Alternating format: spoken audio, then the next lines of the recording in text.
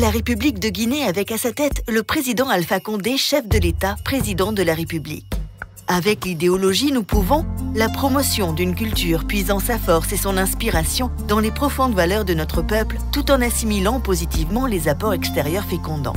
Seul le président Alpha Condé, en moins de 10 ans, vous donne des infrastructures de développement qui répondent aux attentes des populations.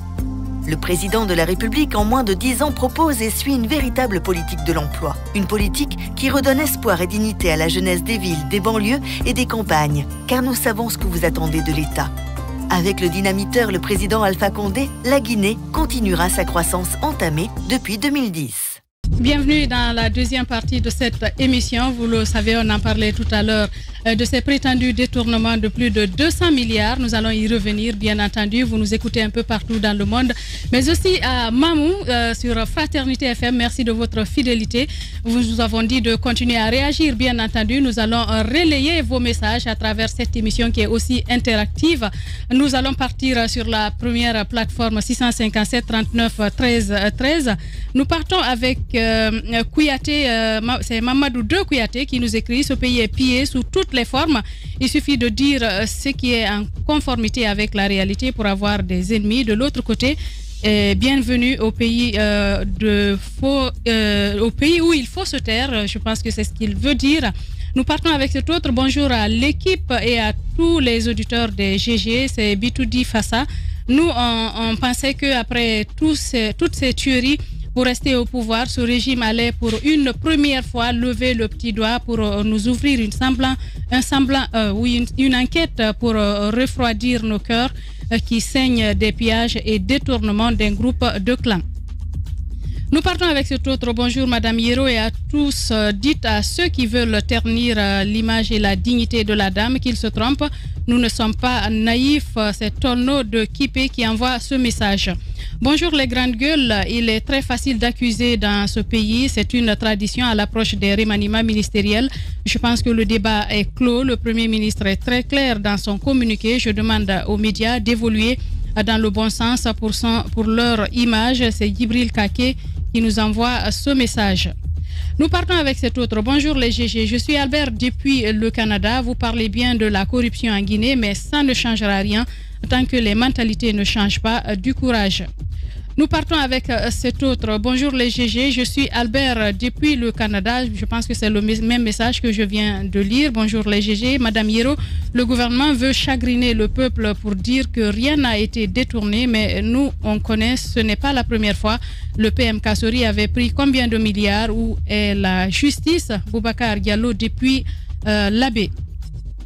Nous partons avec cet autre. Bonjour les GG, je suis le citoyen révolté depuis Cancan. Le problème guinéen devient de plus en plus catastrophique car le voleur des bœufs veut défendre le voleur des œufs. Donc euh, nous, euh, nous souvenons de, des conteneurs d'argent. Merci. Bonjour les GG, bonjour Madame Hiro. Je dirais que cette chasse aux sorcières que le gouvernement Alpha est en train de faire n'est qu'un feu de paille dans la mesure où ils vont jamais, ils ne vont jamais toucher la plaie. Message écrit par euh, Poreda Kadialo depuis euh, Yataya. Bonjour les GG, bonjour à tous. Je suis Sebori. Euh, les messages qui tombent en même temps, c'est compliqué. Amadou, est-ce que si on peut avoir d'autres messages sur d'autres plateformes, bien entendu, on va essayer de les relayer. Nous allons voir si euh, Poutine a pu finalement euh, nous faire parvenir euh, les autres messages sur Twitter. pas pour l'instant, donc on va essayer de voir sur d'autres plateformes s'il y a des réactions. nous partons donc avec ce message. Bonjour, c'est Maki de Dar es Salaam qui nous écrit Le gouvernement ne veut pas la vérité car ils sont tous corrompus. Le régime actuel est le plus corrompu de tous, euh, le régime que de tous les régimes que le pays a connus. Euh, tout récemment, 40 milliards offerts par le président aux communicants du RPG ont été détournés. Le RPG est une machine à corruption. C'est Maki donc euh, de Dar es Salaam qui nous envoie ce message. Nous partons avec cet autre. Bonjour les GG. L'une des meilleures façons de lutter contre la corruption dans une société frappée par, une crise de morale, c'est faire appel à un cabinet d'audit international crédible et indépendant euh, qui viendrait faire le travail ainsi et tout sera clair. Nous partons avec cet autre. Bonjour euh, la Lyon. Euh, des radios. Moi, c'est Saïdou qui, depuis Kindia, parlant de Nabaya euh, c'est comme ça qu'on hypothèque l'avenir de ce pays on applaudit les bourreaux. Les enquêtes superficielles sont menées et au bout de 24 heures, on les blanchit. Il n'y a jamais de fumée sans feu. Je suis révoltée. Nous partons avec cet autre euh, Aboubakar euh, Bigop euh, Kaba donc, qui nous écrit aussi. Aboubakar Bigop Kaba, bonjour Madame Hiro et à toute l'équipe. Le paradoxe dans ce pays, c'est de croire à la lutte contre la corruption. Un gouvernement sérieux devrait adopter la stratégie suivante, c'est-à-dire envoyer des inspecteurs financiers enquêter sur le dossier avant de faire une quelconque communication autour de ce prétendu détournement. C'est une démarche qui ne peut pas qui ne permet pas donc euh, la conquête de la vérité. De toutes les façons, c'est utopique de croire que ce système a une volonté de lutter contre la corruption. Elle est devenue une endémie euh, dans ce pays. Euh, Dieu sauve ce pays. Bonne journée à vous également. Du côté, nous parlons donc de, de Sinani à présent qui nous écrit. Bonjour Yadia et à toute l'équipe des GG. Dites aux comploteurs que nous sommes satisfaits dès lors que le gouvernement a fait un démenti sur ce fameux détournement lié à Madame euh, la ministre Zénab. En tout cas, nous avons un gouvernement crédible et nous nous contentons et nous nous contentons donc de dire euh, de ce gouvernement arrêtons de salir la réputation des bonnes personnes euh, pour de simples règlements de compte que certains de nos sites guinéens s'inscrivent dans la vraie déontologie. Sinani du RPG donc qui nous écrivait à l'instant. Nous partons donc avec cet autre. Bonjour les GG. J'avoue que la corruption est devenue euh, en Guinée un fait récurrent, euh, fait récurrent donc qui passe au vu et qui se passe au vu et au sud de tout le monde. Il faut que le président change la méthode pour traquer les fautifs. Moi, c'est Moussa Baimbo Bangoura depuis euh, Carrefour canadien. Nous allons donc essayer de voir avec Vladimir Poutine qui se bat du mieux qu'il peut aussi du côté de Twitter euh, bonjour euh, les GG. Euh, nous partons avec Youssouf Visionnaire Camara, hashtag espace GG. Bonjour les grandes gueules. Vraiment, ce pays est devenu le point culminant de détournement des fonds publics et il faudrait nous sortir de cette pièce. Que Dieu bénisse ce beau pays de mes ancêtres, monsieur le visionnaire, donc Youssouf qui nous écrivait.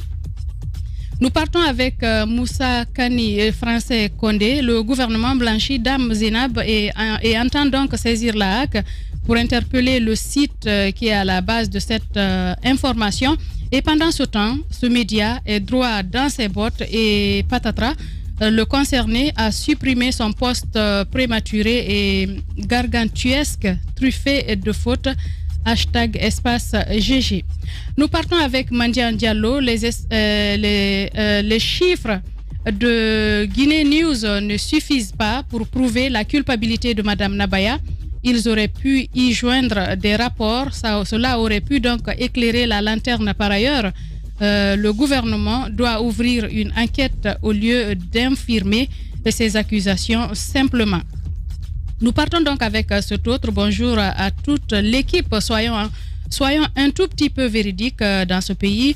Euh, comment voulez-vous qu'il y ait une authentification des choses sur ces dossiers, sur ce dossier de Zenab Nabaya au sein d'un gouvernement où Kaosori est le premier ministre? Il dit Kaosori, oncle Sori donc est le premier ministre. Bon vendredi à tous. Hashtag espace GG, c'est Ousmane le Noble qui nous écrivait. Nous partons avec un dernier. Euh, bonjour les grandes gueules. Avec euh, Mamadou Dia au Guinée, hashtag espace DG. À mon humble avis, ces affaires de détournement de 200 milliards, cette affaire, donc, il veut dire, est comme un poisson tiré dans un océan de corruption. Alors, si nous voulons euh, lutter contre la corruption, on doit nécessairement donc s'attaquer aux gros éléphants qui se font messie de la Guinée. Wassalam. Euh, merci à tous euh, de continuer à réagir. Euh, vous nous écoutez un peu partout. Merci de votre fidélité. Les grandes gueules continuent. Alors, nous revenons ici en studio. Alphonse Mara, on a écouté Youssouf Boundou dans la première partie, juste avant la Avant d'aller en pause, on a écouté Boundou. Boundou qui était très rassurant, qui était confiant. Et on pouvait sentir dans ses mots qu'il n'a aucune crainte mm. liée à l'article qu'il a fait. Il l'a dit, c'est un professionnel, il travaille dans le monde des médias depuis plusieurs années. Euh, ce n'est pas sa première enquête, ce n'est pas non plus sa première révélation. Mais ce qu'il faut ressortir, c'est que dans, dans, dans, cet article, il y a des faits quand même que tout le monde est à même d'aller vérifier. Hmm. Quand il parle du service des examens du département de l'enseignement technique, c'est très simple. On sait chaque année quel est le budget voté pour les examens. On sait quel est le budget investi dans les examens.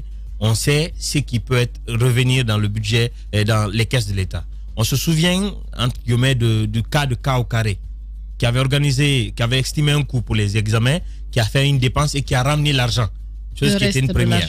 Donc, qui a dit, euh, qui a dit qu'il a dit qu'il a, ramené l'argent. Oui, maintenant c'est une annonce. Voilà, c'est non, Antoine, différent. Antoine, Antoine, on va pas revenir. Non, Antoine, on va pas polémiquer sur ça. a dit qu'il a ramené l'argent. Antoine, on va pas polémiquer sur ça. Il a ramené l'argent. C'est différent. Antoine, voilà. on va pas polémiquer sur ça. Il a dit qu'il a ramené. Aujourd'hui, quand euh, l'article de Bundu, c'est possible de faire le déplacement de tous les citoyens hein, il y, a, une loi maintenant qui permet aux citoyens d'aller demander l'information où ils veulent. Ah, mais à cette allure, elle n'est pas, promulguée. Elle n'est pas, encore promulguée. Hmm. Mais nous, nous de la presse, pouvons faire le déplacement pour aller demander quand même au service des examens quel est le coût estimé, quel a été le coût prévu pour euh, euh, les examens. Si on ne met pas le pied dessus déjà à cette allure. Oui, mais ce qu'ils oublient, c'est que ces, ces, ces actions-là, la préparation des examens, a fait l'objet de couverture médiatique et quelques annonces ont été faites. Donc, il y a des archives aussi qui peuvent permettre de mettre la main sur des informations comme le coût pour eh, les examens. Et on a nos députés. Euh, pour une fois, j'ai envie que le maillot jaune du Brésil, qui ressemble, euh, qui est aussi ce, ce, couleur, euh, ces couleurs de, du RPG, serve à quelque chose à l'Assemblée. C'est le bon moment pour, pour nos députés quand même d'ouvrir une enquête sur le dossier. Je critiquais la dernière fois le passage de l'opposition à l'Assemblée je disais que ces gens sont passés à l'Assemblée, ils n'ont ouvert aucune enquête. On se plaint de, de, la couleur de l'Assemblée actuelle.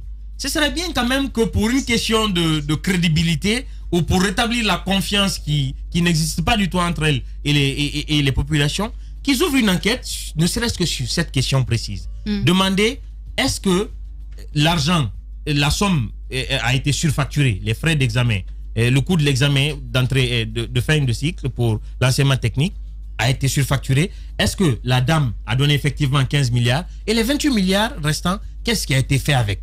S'il pose des questions, il y aura forcément des répondants.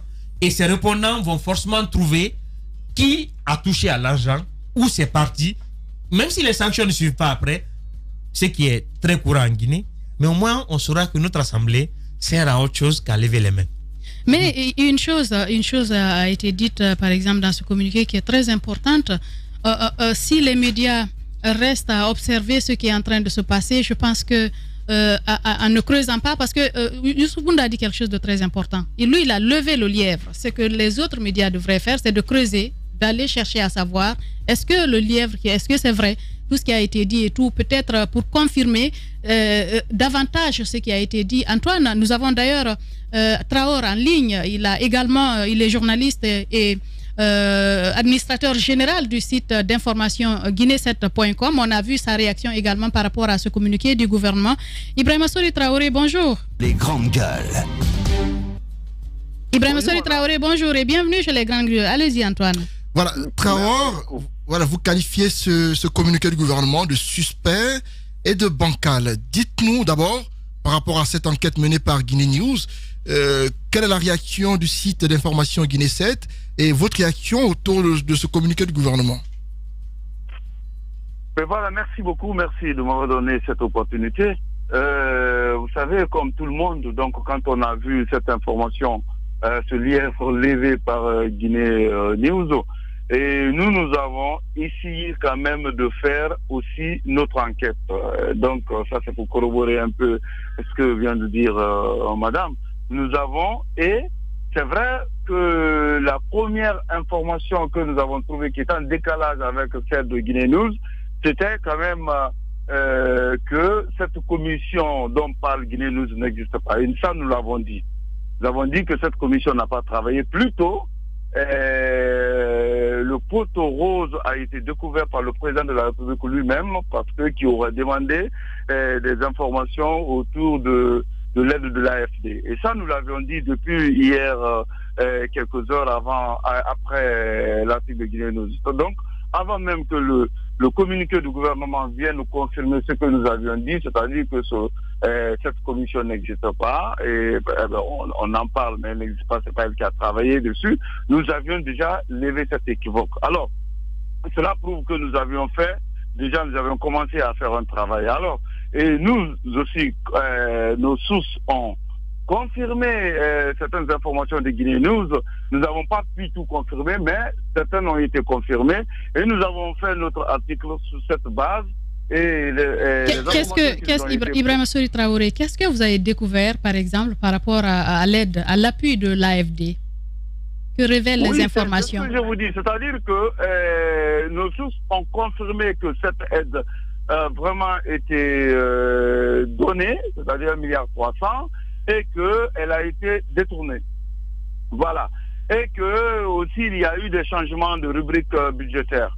Et donc nous avons parlé de cela dans notre article euh, que nous avons publié et le reste euh, nous avons rappelé les enquêtes, en fait, ce que Guillet nous a fait et que nous n'avons pas pu vérifier nous-mêmes et nous avons rappelé ça dans notre article. Ceci dit, euh, alors, alors, alors monsieur, monsieur, monsieur Traoré, tout à l'heure, vous disiez qu'hormis euh, euh, cette validation de, de des fonds qui ont qui, qui n'ont pas été utilisés à bon escient par qui ont été décaissés par l'AFD, vous disiez également que vous aviez vérifié d'autres fonds, notamment quand elle était directrice DAF au ministère de l'Agriculture, DAF au ministère de la Santé. Est-ce que vous pouvez nous dire que d'après vos sources, est-ce que ces informations aussi sont vérifiées? Pas pu les vérifier. Nous n'avons pas pu vérifier les informations relatives à son passage euh, au ministère de la Santé, au ministère de, euh, de l'Agriculture. Cependant, ce que nos sources nous ont confirmé, ce sont les informations quand même relatives au changement de, euh, de, de, rubrique budgétaire, ce qui est vraiment anormal parce que c'est, vous savez, les budgets sont déjà votés à l'Assemblée. Et quand euh, l'Assemblée a voté déjà un budget, pour le changer, il faut beaucoup de procédures. Il y a même une loi rectificative et ainsi de suite. Mais vous savez aussi que euh, parfois même pour le réussir, il faut même demander l'arbitrage du président de la République. Voilà. parlons justement de changement de rubrique. Est-ce que vous voulez nous parler de ces examens nationaux ou dans l'article, il est indiqué qu'il a été dans un départ prévu 27 milliards et qu'il y a eu changement pour devenir 43 milliards et qu'après décaissement, on a donné finalement 15 milliards euh, pour ces examens. Est-ce que vous nous le confirmez? Euh, Je dis que oui, nos sources nous ont confirmé cela, que cela a existé. Mais le changement de rubrique, c'est quand vous... Euh, il y a une rubrique investissement, c'est quand vous prenez de l'argent dans cette rubrique investissement pour une autre rubrique, genre achat de matériel, genre achat de, de livres ou ainsi de suite. Vous savez, quand c'est la rubrique investissement, ça c'est chapeauté, c'est chaperonné par euh, le ministère du Plan. Et donc vous ne pouvez pas faire, vous ne pouvez pas utiliser cet argent sans l'aval du ministère du, Plan. Et donc euh, parfois on fait des micmacs, euh, on prend de l'argent d'une rubrique parce que très bien contrôlée pour une autre rubrique moins contrôlée. Alors Et... Dernière question, Oui, Traoré, justement, sur la même logique. Euh, puisqu'on parle aussi de 35 milliards par rapport un peu à, aux équipements dans les CFP, les centres de formation professionnelle. On apprend qu'elle aurait contourné le ministère du Plan justement pour aller vers le ministère du Budget et qu'une note existerait. Est-ce que vous le confirmez aussi? Je vous parlais de cela. C'est de ça que je vous parlais. Quand je parle de, changement de rubrique, c'est à ce niveau, je vous, voilà, c'est de ça que je vous parlais. Et cependant, comme euh, madame vient de dire que c'est la dernière question, sinon que l'autre question, l'autre pan de la question, c'était surtout le communiqué du gouvernement. Et c'est ce que nous avons fait parce que nous pensons que c'est un mauvais signal que le gouvernement donne en, en faisant cette sortie. Parce que nous pensons que c'est une sortie inopportune euh, comme vous l'avez dit, vous l'avez très bien dit euh, depuis le début de l'émission, on ne peut pas quand même rassurer des gens quand on a dit que ce nouveau mandat est basé sur la lutte contre la corruption et ainsi de suite, et faire ce genre de, de communiqué, surtout que d'autres membres du gouvernement par le passé ont été épinglés par la presse, en public, ont été dénoncés par la presse, on a dit qu'ils ont euh, volé de l'argent, passez-moi cette expression, ils ont détourné de l'argent, mais il n'y a jamais eu ce genre de, de solidarité entre les Donc nous pensons que le gouvernement aurait dû quand même ça se taire dessus, ou plutôt, même si, si, il faut en parler, mais dire quand même, rassurer les gens pour dire qu'ils vont s'en occuper, ils vont ouvrir des enquêtes et ainsi de suite. C'est ce qu'il faut faire. Mais de là à menacer quand même les journalistes, c'est un peu, l'histoire ressemble un peu à celle qui consiste à casser le thermomètre euh, pour baisser la température. Bien, Ibrahim Assouri euh, Traoré, administrateur général du site guinée7.com, merci d'avoir accepté notre invitation ce matin. La République de Guinée avec à sa tête le président Alpha Condé, chef de l'État, président de la République. Avec l'idéologie, nous pouvons la promotion d'une culture puisant sa force et son inspiration dans les profondes valeurs de notre peuple, tout en assimilant positivement les apports extérieurs fécondants. Seul le président Alpha Condé, en moins de 10 ans, vous donne des infrastructures de développement qui répondent aux attentes des populations. Le président de la République, en moins de 10 ans, propose et suit une véritable politique de l'emploi. Une politique qui redonne espoir et dignité à la jeunesse des villes, des banlieues et des campagnes, car nous savons ce que vous attendez de l'État. Avec le dynamiteur, le président Alpha Condé, la Guinée continuera sa croissance entamée depuis 2010. Vladimir Poutine du côté de la régie, merci de nous suivre à la télévision. Euh, Soukenat là, 17 ans, élève en 12e année sciences sociales. Sa vie a soudainement basculé il y a 9 mois. Quand un semblant de furoncle est apparu sur sa tête, sa situation s'est de plus en plus aggravée et s'est transformée en tumeur. Un cancer, diraient les profanes, alors que nous voulions écouter sa famille pour une éventuelle évacuation. Nous venons de l'apprendre, mademoiselle Silla a rendu l'âme la nuit dernière à Jean-Paul II où elle était hospitalisée. Comment se passe euh, la prise en charge des cancers en Guinée? Nous allons essayer de joindre bien entendu professeur Bangali Traoré. Il est le chef d'unité de chirurgie oncologique à l'hôpital national donc à délocalisé à Jean-Paul II. Et justement, nous l'avons au bout du fil. Bonjour, professeur Bangali Traoré. Les grandes gueules. Bonjour. Bienvenue chez les grandes gueules. Alors, on en parlait hier dans cette émission. Euh, comment se passe euh, la problématique de prise en charge des cancers? Parce que nous, nous nous sommes intéressés au sujet de cette jeune fille euh, que nous voulions aider. Nous avons appris malheureusement ce matin qu'elle est décédée, elle a rendu l'âme. Comment se passe la prise en charge? Parce qu'on a l'impression que les gens ne connaissent pas réellement comment s'y prendre. Ça commence pour elle, par exemple, ça a commencé par un furoncle. que pouvez-vous dire aux citoyens qui écoutent cette émission? Euh, comment peuvent-ils se préparer, par exemple, à affronter un cancer euh, avant que la situation ne soit tardive? Qu'est-ce qu'il faut faire? Euh, Je voulais avant tout vous remercier de me donner l'opportunité de m'exprimer sur ce sujet qui est extrêmement important pour notre pays et pour le monde entier. Le cancer, c'est un problème de, santé publique. Ce sont un ensemble de maladies euh, qui sont considérées comme des tueurs euh, silencieux. Alors, je voulais aussi euh, m'incliner devant la mémoire de euh, Sukainatou et également à travers elle tous les, toutes les autres victimes du, du cancer. Alors, comme vous l'avez dit, le cancer, c'est un problème de santé publique. C'est une maladie qui n'est pas très bien connue. Vous savez, nous avons, nous sommes dans des pays où on est submergé par des maladies infectieuses, mais actuellement c'est une transition épidémiologique.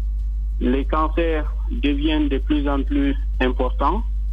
Alors dans notre pays, c'est environ, on estime à 7300 cas annuels, avec un peu plus de 5000 décès.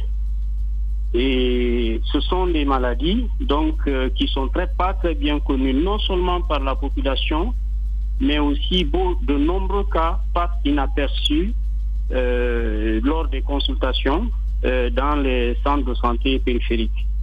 Et donc, c'est comme ça, euh, les malades donc, qui ont des symptômes d'alerte, ils vont dans des structures de santé et donc, lorsqu'on passe à côté, ou peut-être on ne prend pas en considération la maladie, alors donc, sa maladie, au moment où ça devient important, c'est en ce moment où on les oriente dans les services de spécialité.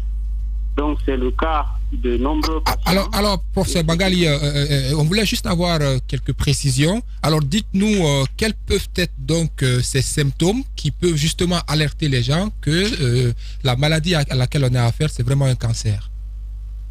Ah, le cancer est avant tout caractérisé par le développement d'une tumeur. C'est une tuméfaction, c'est une grosseur, c'est un organe ou une partie du corps qui se déforme par l'existence d'une augmentation du volume, soit de façon nodulaire ou de façon euh, globale.